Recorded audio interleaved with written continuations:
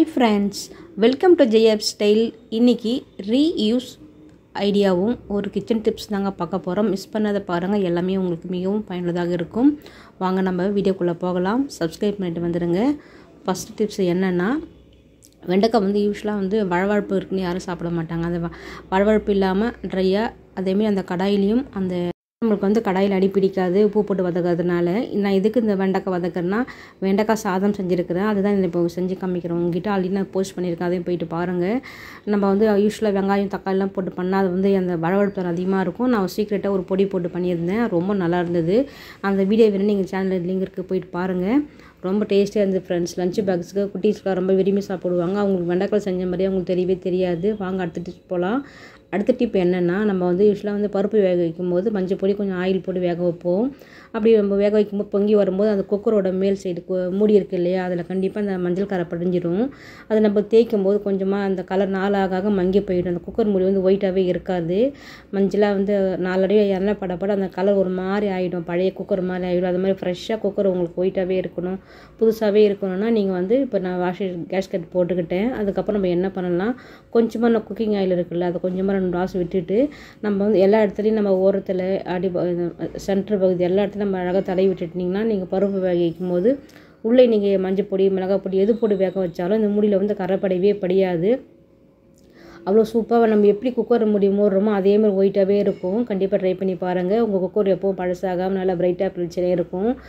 புது குக்கர் மாதிரி நான் இப்போ தான் மெயின்டைன் பண்ணி வரேன் என்னோடய குக்கர் பாருங்க நல்லா ஒயிட்டாகவே இருக்குது பாருங்கள் வாங்க நம்ம க்ளோஸ் பண்ணி பருப்பை வேக வச்சிடலாம். வேக வச்சுட்டு நான் பார்க்குறேன் பாருங்கள் அவ்வளோ ஒயிட்டாகவே இருக்கும். எந்த ஒரு கடையும் நம்மளுக்கு பறிஞ்சிருக்காது லேசாக அந்த இருக்குது பாருங்கள் அது நம்ம கையில் தொட்டாவே நம்ம நம்மளுடைய ஃபிங்கர்லேயே அது வந்துடும் ஈஸியாக நம்மளுக்கு வந்து வாஷ் பண்ணுறதுக்கும் நம்மளுக்கு ஈஸியாக இருக்கும். டைமும் நம்மளுக்கு மிச்சமாகும்.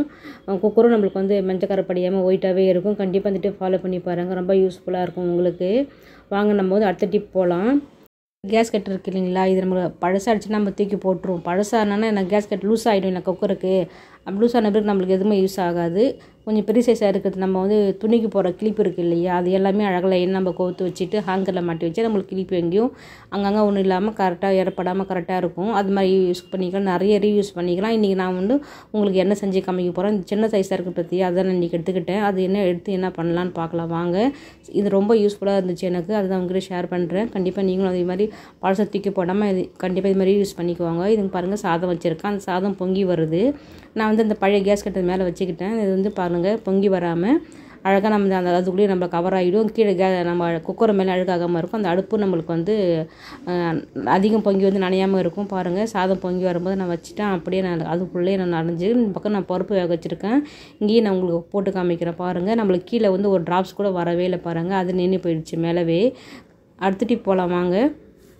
இது மாதிரி கத்திரிக்காய் வாங்கிட்டு வந்து நீங்கள் வந்து ரொம்ப நாள் ஃப்ரிட்ஜில் வச்சுட்டு ஒரு வாரம் இல்லை ஊருக்கு போயிட்டீங்களோ இல்லை திரும்ப வந்து பார்த்தீங்கன்னா வந்து ஒரு கொ- கொஞ்சம் ஒரு மாதிரி கலர் சேஞ்ச் ஆகிருக்கும் இந்த ரெண்டு கத்திரிக்காய் பாருங்கள் கொஞ்சம் அதுதான் ஒரிஜினல் கலர் பாருங்கள் இது ரொம்ப நாள் ஆயிடுச்சுன்னா கலர் இது மாதிரி மாறிடும். அதோட காம்பு கூட பாருங்கள் வாடி போன மாதிரி இருக்குது பாருங்கள் ஃபஸ்ட் ரெண்டு கத்திரிக்காய் அமைச்சு அந்த காம்பு ஃப்ரெஷ்ஷாக இருக்குது பாருங்கள் இப்போ ரொம்ப நாள் ஆயிடுச்சு அந்த கத்திரிக்காய் நம்ம தூக்கி போட்டுருவோம்.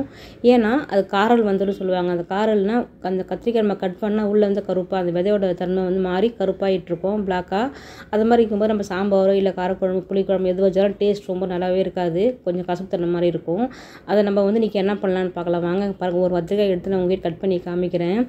அதோடைய விதை பகுதியெலாம் பாருங்கள் நல்லா வந்து கலர் சேஞ்ச் ஆகிடுச்சு பாருங்கள் இது வந்து ஒரு வாரம் ஆனால் இப்படி தான் நம்மளுக்கு வந்து பழ கத்திரிக்காயோட கலர் நிறத்தன்மை மாறி போயிடும். இதை நம்ம மாறி போயிட்டு நம்ம வந்து குழம்பு போட்டால் காரல் வரும். க- கசப்பு நம்ம செய்ய மாட்டோம். இதை வந்து நம்ம ஒரு சூப்பரான ஒரு நம்ம இன்றைக்கி பொரியல் மாதிரி நான் செஞ்சு காமிக்க போகிறேன் ரொம்ப ஈஸி வேறு ரெண்டே நிமிஷத்தில் அந்த பொரியல் நம்ம பண்ணிடலாம். எப்படின்னு பார்க்கலாம். வாங்க. இது மாதிரி நாளை ஒரு வாரம் ஆகிட்டு அந்த கத்திரிக்காய் தூக்கி போடாமல் இது மாதிரி நீங்கள் ரிவ்யூஸ் பண்ணிங்கன்னா உங்களுக்கு சுத்தமாக உடனே காலியோட செஞ்ச உடனே அது எப்படின்னு பார்க்கலாம். வாங்க. அடுப்பில் வந்து கொஞ்சம் ஜாஸ்தி கொஞ்சம் ஆயில் ஒரு நாலு ஸ்பூன் ஊற்றிக்கிட்டேன் நம்ம கட் பண்ண கத்திரிக்காய் எல்லாமே ஆயில் நல்லா ஃப்ரை பண்ணிக்கலாம். இதுக்கு வந்து நம்ம வெங்காயம் தக்காளி பூண்டு எதுவுமே நமக்கு தேவையில்லை. சீக்கிரமாக குயிக்காக நம்ம பண்ணிடலாம். அதுவும் டேஸ்ட்டாக இருக்கும். தயிர் சாதம் இந்த ரசத்தாசெல்லாம் ரொம்ப அல்டிமேட்டாக இருக்கும். கண்டிப்பாக பாருங்கள் நீங்கள் செஞ்சு பாருங்கள் இது மாதிரி உங்கள் வீட்டில் பழக்கத்திற்காக இருந்தாலும் பண்ணுங்கள் இல்லை நியூஸாக இருந்தாலும் அதை பண்ணிக்குவாங்க. இப்போ நல்லா வந்து ஒரு பாதி அளவு நல்லா வதங்கிடுச்சு. கலர் சேஞ்ச் ஆகி வந்துடுச்சு பாருங்கள் அதுக்கப்புறமா நீங்கள் வந்து மேலே வந்து தேவையான அளவு சால்ட் போட்டுக்குவாங்க ஏன்னா நம்ம இதுக்கு வந்து தண்ணி எதுவும் சேர்க்க போகிறதில்ல அதனால தான் சால்ட் உப்பு சேர்த்துக்கிட்டேன். சால்ட் உப்பு சேர்த்து நல்லா வதக்கிக்குவாங்க பாருங்கள் கொஞ்சம் நல்லா கலர் சேஞ்ச் ஆகி வருது. அந்த வெளி சைடு உள் சைடு எல்லாமே கலர் கொஞ்சமாக வந்து கலர் சேஞ்ச் ஆகும். இந்த க உஜாலா கத்திரிக்காய் வந்து சீக்கிரம் வந்து நம்மளுக்கு வெந்துடும். அதனால் நம்ம தண்ணி சேர்க்க போகிறதில்ல இன்றைக்கி பாருங்கள் நல்லா ஓரளவுக்கு நல்லா வ வதங்கி வந்துடுச்சு. நல்லா வெந்தும் வந்துடுச்சு பாருங்கள் இப்போ காமிக்கும் போது பாருங்கள் உங்களுக்கு நல்லா கலர் சேஞ்ச் ஆகிருக்கும் இது மாதிரி நீங்கள் பண்ணிங்கன்னா உங்களுக்கு பழைய கத்திரிக்காய் செஞ்ச மாதிரி டேஸ்ட் உங்களுக்கு கொஞ்சம் மாறவே மாறாது. புது கத்திரிக்காய் செஞ்ச மாதிரியே இருக்கும். அதுக்கு மேலே கொஞ்சமாக நான் வந்து கொஞ்சம் மஞ்சள் பொடி போட்டுக்கிட்டேன். இது எல்லாமே நல்லா வதங்கி நல்லா கலர் நல்லா சேஞ்ச் ஆகி வரும். ஆனால் அந்த கத்திரிக்காய் உட உடையாமல் செய்யணும். ஏன்னா வந்து நம்ம தண்ணியை சேர்க்காமல் செய்யறதுனால நம்மளுக்கு உடையாமல் நல்லாவே கிடைக்கும். நல்லா டேஸ்ட்டும் கிடைக்கும். கண்டிப்பாக இந்த விதத்தில் ஃபாலோ பண்ணி பாருங்கள் ஃப்ரெண்ட்ஸ் நீங்கள் பாருங்கள் மஞ்சள் பொடி நம்ம நல்லா போட்டாச்சு. இதுக்கப்புறம் நம்ம என்ன போட போகிறோம்னா குழம்பு மிளகாத்தூள் போடணும். வெறும் சில்லி போட்டு போட்டிங்கன்னா கொஞ்சம் தனியாக பொடி போட்டுக்கோங்க. ஆனால் இதுக்கு என்ன பெஸ்ட்னா குழம்பு மிளகாய் பொடி தான் ரொம்ப நல்லாயிருக்கும் அந்த நல்ல ஒரு கத்திரிக்காய் மேலே ஒரு கோட்டிங் வரும். நம்ம லாஸ்ட்டில் வேறு வேறு புளி தண்ணி சேர்த்து பண்ணதுனால ரொம்ப டேஸ்ட் அதிகமாக இருக்கும். அதனால் வந்து போடுமான வரைக்கும் நம்ம குழம்பு தூள் போட்டிங்கன்னா ரொம்ப டேஸ்ட் ரொம்ப நல்லாயிருக்கும் நம்ம நம்ம வந்து இப்போது பொடி இப்போ மிளகா பொடி போட்டாச்சு. இப்போ வந்து நம்ம அடுப்பில் ஸ்லோ ஸ்லோ பண்ணிக்கலாம். ஏன்னா மிளகா பொடி போட்டு அடிப்படிக்க செய்யும். அப்பப்போ வந்து கிளறி விட்டுக்கிட்டே இருக்கணும்.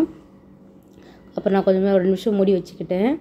அந்த ஆவியில் நல்லா வெந்துடும் பாருங்கள் நல்லா ஓரளவுக்கு நல்லா வெந்துருச்சு. சுருங்கி வந்திருக்கு பாருங்கள் இப்போ நம்ம அப்படியே நம்ம சாப்பிட்டோம்னா மேலே தான் நம்மளுக்கு கோட்டிங் ஆகிருக்கும் உள்ளே கத்திரிக்காய் வந்து அந்த ஸ்பைஸ் எல்லாம் உள்ளே நம்மளுக்கு உள்ளே போயிருக்காது. வெள்ளையாகவே இருக்கும். சாப்பிட ரொம்ப நல்லா இருக்காது. மேலே காரமாக இருக்கும் உள்ளே சப்புன்னு இருக்கும். அதுக்கு தான் நம்ம என்ன பண்ண போகிறோம்னா கொஞ்சமாக தண்ணி தெளிச்சுக்குவாங்க ரொம்ப தண்ணி ஊற்றக்கூடாது கொஞ்சமாக தெளிச்சாவே அந்த ஈரப்பதம் வந்தோடனே கத்திரிக்காய் குழையிற மாதிரி ஆகிடும் ஆனால் தண்ணி அதிகம் ஊற்றக்கூடாது பாருங்கள் லைட்டாக தெளிச்சோடனே நம்மளுக்கு வந்து கத்திரிக்காய் கொஞ்சம் லைட்டாக வந்து குழையிற மாதிரி தெரியுது பாருங்கள் லைட்டாக கிண்ணி விட்டுக்குவாங்க இது மாதிரி செஞ்சு பாருங்களேன். செம்மையாக இருக்கும். கத்திரிக்காய் பொருள் சாப்பிடாத கூட சாப்பிடுவாங்க. ஏன்னா நம்ம லாஸ்ட்டில் புளி சேர்த்து பண்ணுறதுனால ரொம்ப டேஸ்டியாக இருந்துச்சு எனக்கு. தயிர் சாதம் ரொம்ப நல்லாயிருக்கும் அதோட சூப்பராக சாதம் வச்சு சாப்பிட்டீங்கன்னா இன்னும் சூப்பராக இருக்கும் பாருங்கள் நம்ம தண்ணி தெளித்து கொஞ்சமாக மூடி வச்சு தண்ணி இப்போ நல்லா வெந்துடுச்சு. இப்போ நம்மள கொஞ்சமாக வந்து புளி தண்ணி கொஞ்சமாக திக்காக வச்சுருக்கிறேன். கொஞ்சமாக நான் ஊற்றிக்கிறேன் அதுக்கும் நிறைய ஊற்றாதீங்க கொஞ்சம் ஒரு ரெண்டு ஸ்பூன் வர மாதிரி ஊற்றிக்குவாங்க பாருங்கள் புளி தண்ணி ஊற்றி ரொம்ப கலர வேண்டாம். மூடவும் வேண்டாம். புளி தண்ணி ஊற்றி நம்ம அப்படி திறந்து வச்சுட்டாவே போதும். அந்த ஹீட்லேயே நம்மளுக்கு வந்து நல்லா அந்த புளி தண்ணியெல்லாம் நல்லா ட்ரை ஆகி வந்துடும் பச்சை வாசல் எதுவும் நம்மளுக்கு வராத மாதிரி நம்ம ட்ரை ஆக்கிக்கலாம்.